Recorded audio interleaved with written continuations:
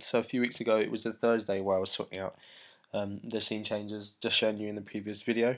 Um, and then I spent the Friday, uh, sadly, stressing out about the game working. I got in late. Um, I was trying to fix quite a few bits for it to be tested and shown in front of the class, and a lot of it just wasn't working, and it wasn't a very good day for me um, in terms of how I felt towards the game and building it and everything, to be honest. So um, that day wasn't the best. So then after that, um, I had even uh, tutor said just have the weekend off. So I took a few days out from building the game because I put I think I put a lot of stress on myself to get it done in time and how to um, and getting it working, putting a lot of hours, which wasn't very much helping. So I went away from that weekend after um, the break and then started sorting out the like sort of the major problems from that day. Of the first one was the parallax, in that there was a lot of inconsistency in how it loaded up in the scene when entering the next one. So I tested that out with, this, with the scene transitions. It sort of loaded up in different places and went at different speeds, went different lengths across the screen.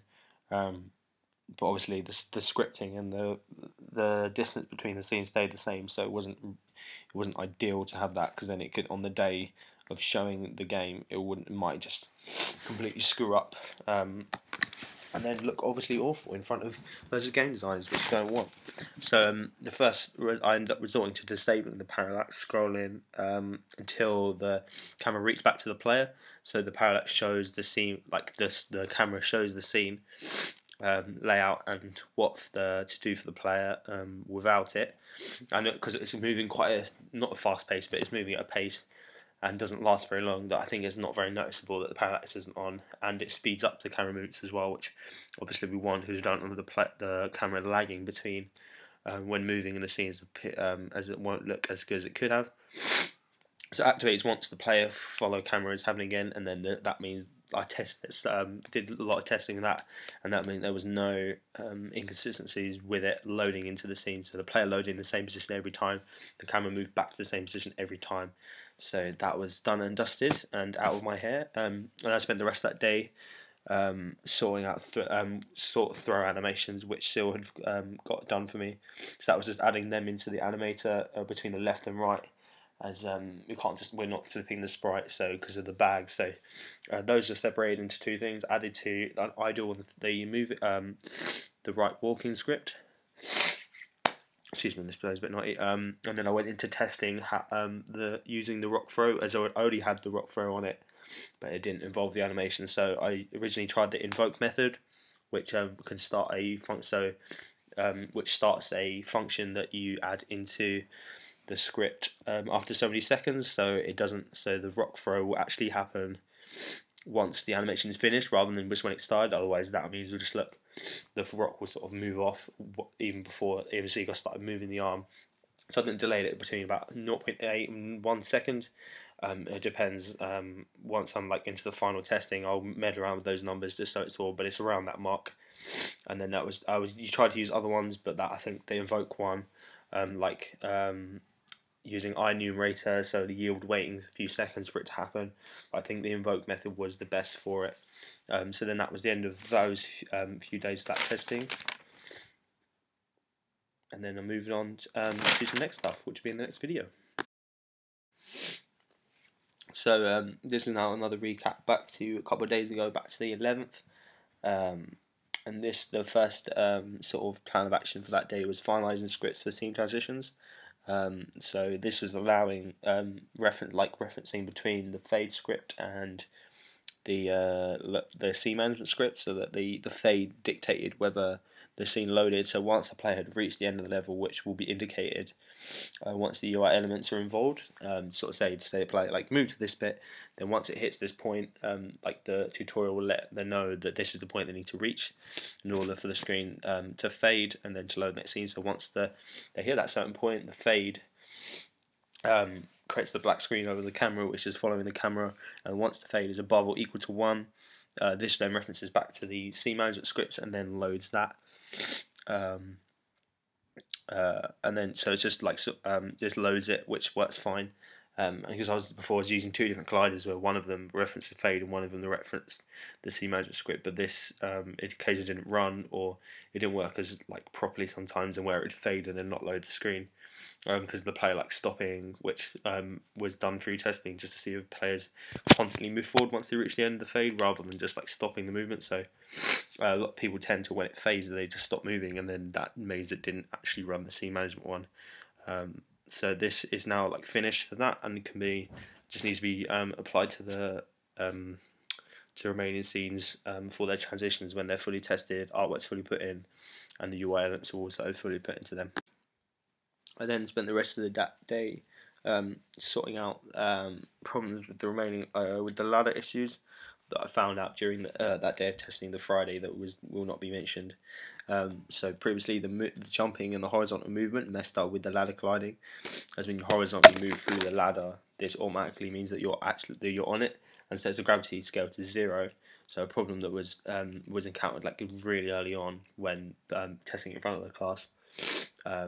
Was that when you jumped into it, then the gravity scale went to zero, so it was sort of like the planes sort of floated down the ladder, but still within the jump animation because obviously they hadn't hit the floor yet, which meant they they were still within that jump area, and then it sort of took a while to get down.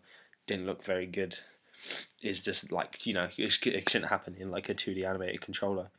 Um, so I decided to change it with. Um, um, so it changed the how the player gets on the ladder in that when you're moving horizontally through it or jumping, um, it's complete it's deactivated at all, and then they have to press a circle isn't being used. So I use circle um, immediately, which the UI um, which the UI elements will let players know that when they uh, sort of uh, like obviously like a sort of speech bubble above their head saying press circle to jump on ladder. So they press circle, and it means they get on the ladder. Um, so this like immediately sets the boolean for like being on the ladder to true and all those like um, booleans in the players in the movement scripts that come with it so then the box collides activated the climb idle is like linked, so it looks like he jumps on the ladder and then he moves up, and then I use the same how they get up on the ladder as the same before. So when they hit a collider, it um, takes like the game ball and then moves the player up in an offset in the y-axis, and then like them climbing up and then transition above the floor um, on top, and then for getting back down the ladder, it's then like a holding circle. So when they hold this, as soon as that hold circle cycle starts, the pull down, which may have to be um, edited because I'm currently just using the pull up in reverse, but it's always heights and um, means he just sort of grabs thin air or may like potential needs to decide is maybe adding like a sort of little ladder like like banister thing or like a little hole area where he can sort of hold onto and then puts himself down because um, currently it doesn't like it works but it doesn't look as good like it doesn't look right currently. So um, once you hold the the uh, circle that plays and then it moves after so like a second or 1.2 seconds uh, it then moves the player down in like a uh, and then they can move up and down it um, without there being problems with like horizontal movement and then animations changing. So that was the um, ladders fix which was obviously like a integral part of the like the movement in the game is a lot of like ladder movements and going up and down them. So now that I'd sorted I can then move on just to the gameplay testing rather than screwing around with the animated controller because that is like the one that's taken up the most time, which I didn't want it to. But now those um, those are sorted, and, and I can move on to more uh, scene building.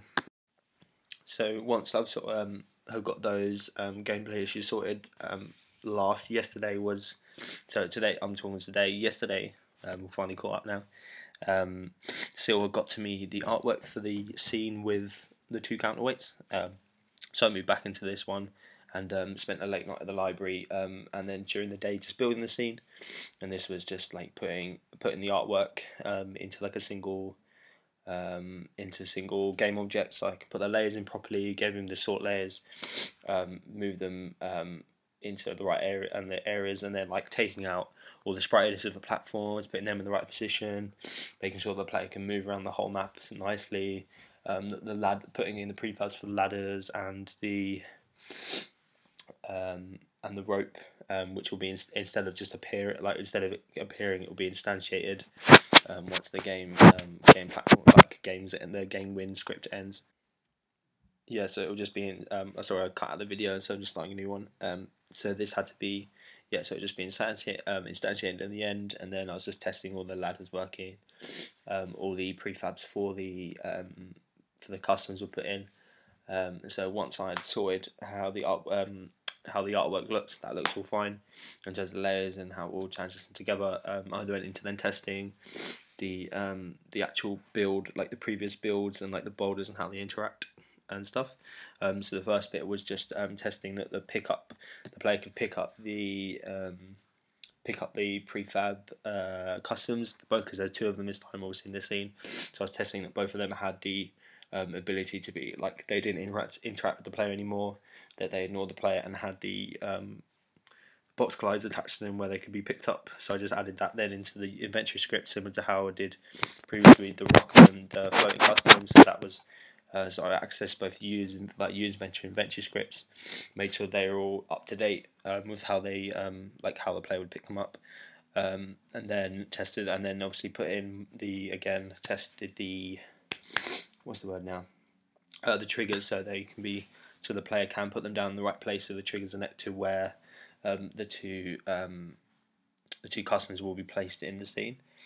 Um, so I sort of did that um, late night whilst testing and stuff, um, and then I also test went through testing of, um, which will be um, shown in the video, just testing the boulders and how they move down. So obviously, if you can see from the scene, the um, the player will have to throw the rock at the sort of boulder little collection, uh, the bag up the top, and then once the boulder moves down, it will hit the two uh, customs in the, um, further down the scene. So I was just testing the masses and how the boulder moved. That it was actually able to move down the scene um, in accordance to the customs, um, whether the light counterweight and the normal counterweight were put down.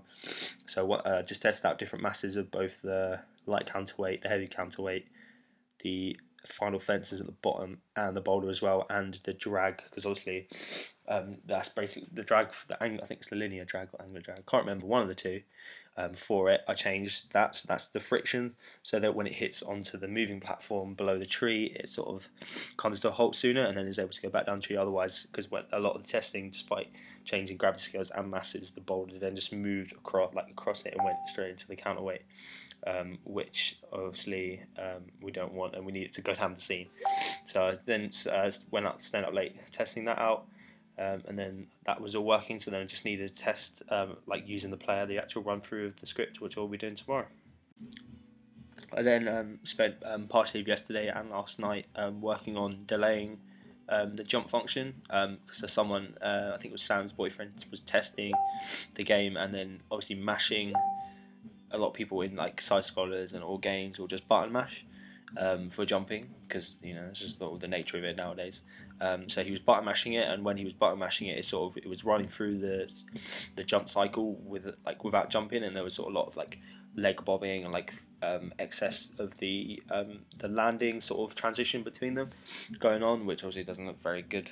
Um, and then it's sort of like the, the button mashing overrides a lot of what um, a lot of the uh, the, um, the animated tree. So what I um, messed around with changing um, which script um, tells can jump to be true. As originally it was in the move scripts, and I tried just um, changing it into I, enumerator, yielding um, waiting for two seconds, and then saying can jump is true again within the collision enter. Um, so that's when it reaches back the floor. In the in the case of the floor, it reaches the floor again, and then um, can jump is true, but waiting after two seconds. But then that also for some reason messed up the horizontal movement and just left it idle and I changed that around quite a bit and it's still having a lot of problems um, so instead I think I moved the can jump into the uh, into the seek animation script rather than the move scripts and say that when it's pressed, um, so when the jumps is pressed, um, there's like it does the jump function, um, and um, this can jump um, like can jump is true, and then it waits two seconds, and then oh it's that's when it's false, and then it only says can jump is true once it's waited two seconds. So that's just using uh, I, enum- uh, I enumerate it in the seek animation scripts. So then that doesn't. So the pressing of the joystick button zero, which is X, the button it doesn't and it doesn't interfere with the horizontal movement or the rest of the animated tree or rest of the movement scripts. That's just purely um, for the jumps. And then that had that working where the player wasn't able to button mash, wasn't able to jump two seconds after then the landing again so despite button mashing um, it didn't have any problems with the animated tree and um, and left uh, the gameplay running a lot more smoothly, which I was happy with.